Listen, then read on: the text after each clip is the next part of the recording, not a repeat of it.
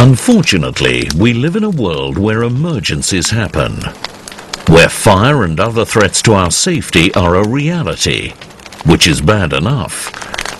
But imagine if you're disabled and you're on the second floor of a building where a fire has taken hold and the lifts have stopped working. You need to move quickly, but your wheelchair can't go downstairs.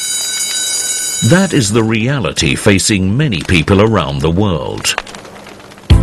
Employers have a duty of care to provide adequate means of escape for everyone using their premises. Disability discrimination, health and safety requirements and the Regulatory Reform Order enforce this duty of care. And in today's society, which is quick to seek massive damages in a no-win, no-fee world, compliance with legislation is essential.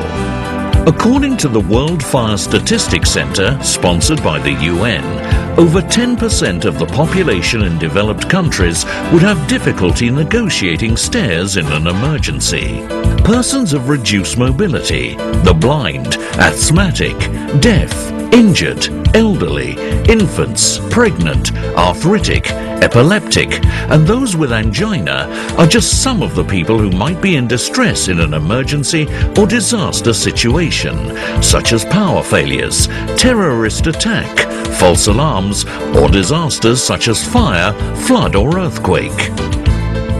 The strategic placing of evac chairs throughout a building, together with required escape drills, helps organizations provide adequate means of escape for all, including the mobility impaired, and to meet requirements on health and safety and fire regulations, equality in the workplace, and manual handling and preventable injuries.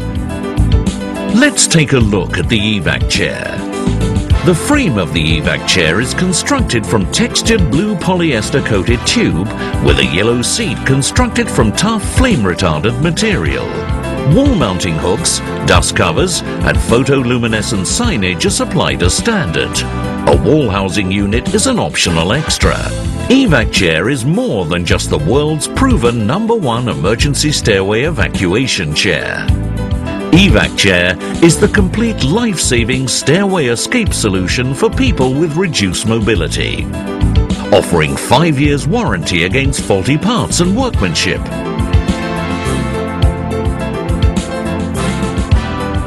There are six simple steps to prepare the EVAC chair for use. 1. While standing behind the evac chair, hold it upright and rest one foot on top of the blue base frame crossbar to steady the chair. 2. Using both hands, pull the handle upwards until the shoulder clips have clicked into place. 3. The head restraint should now be slid down the handle. 4.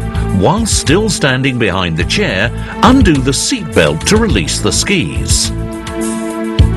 5. Pull these skis towards you to open the seat and push the seat partway downwards into position. 6. Finally, pull up the seat frame against the ski to ensure it is in position. Your evac chair is now ready for action. You must remain in position behind the evac chair using both uprights of the handle to hold it firmly. Place one foot on the front wheel axle or on the bottom bar as your occupant transfers into the evac chair seated position. Depending on the condition of the occupant, further assistance may be required with the transfer. The evac chair comfy seat is an accessory to accommodate people with special difficulties, such as back problems or leg fractures.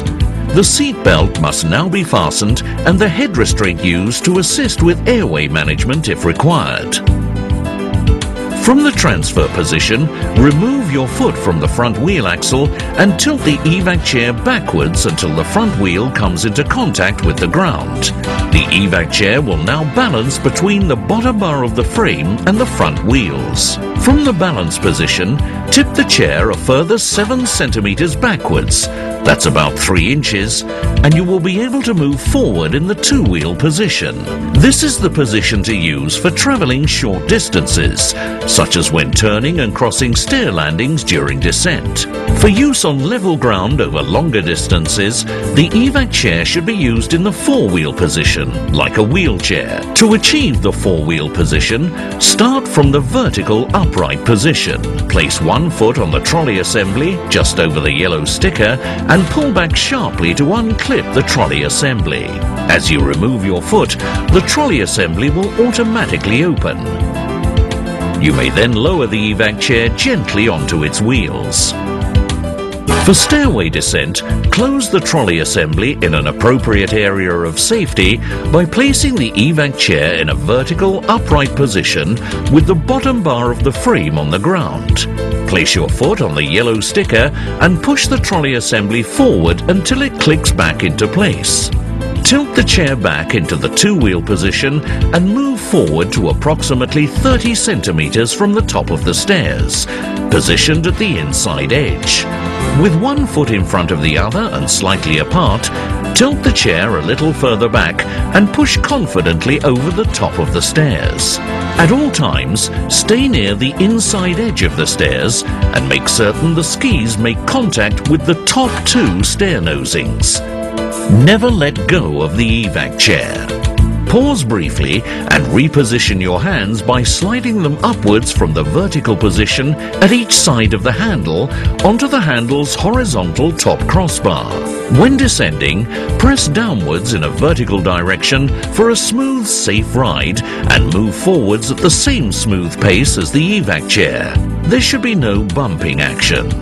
The smooth operation of evac chair is due to the interface of specially modified V-belts, which continuously work to slow down descent over stair nosings in proportion to the weight of the passenger. No heavy lifting is necessary, so no one is left behind when a building is evacuated. When reaching or crossing a landing, never let go of the evac chair and do not allow the chair to run out. You cross the landing in the two-wheel mode, so when the wheels touch the landing floor and with the skis still on stairs, slide your hands round to each side of the handle back into the vertical positions to prepare for this maneuver. Keep the evac chair near to the inside edge of the stairs at all times throughout the descent and cross the landing in the two-wheel mode before descending the remaining stairs in the same way as before. On reaching the ground level, proceed a few paces from the stairs in the two-wheel mode before deploying the trolley assembly. You're then ready to move along level ground in the four-wheel mode to the designated assembly point.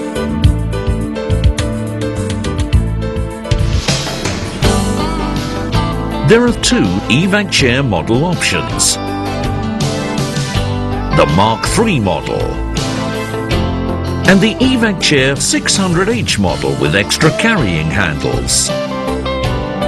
evac chair is a life-saving investment and answers everyone's concerns about emergency stairway evacuation in case of fire or other hazards. It protects against lawsuits and saves personnel from unnecessary injury. Having evac chairs strategically placed around a building is all about peace of mind.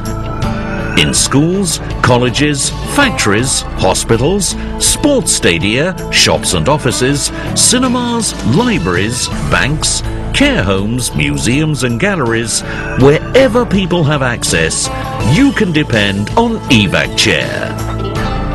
Evac chair more than just the world's proven number one emergency stairway evacuation chair.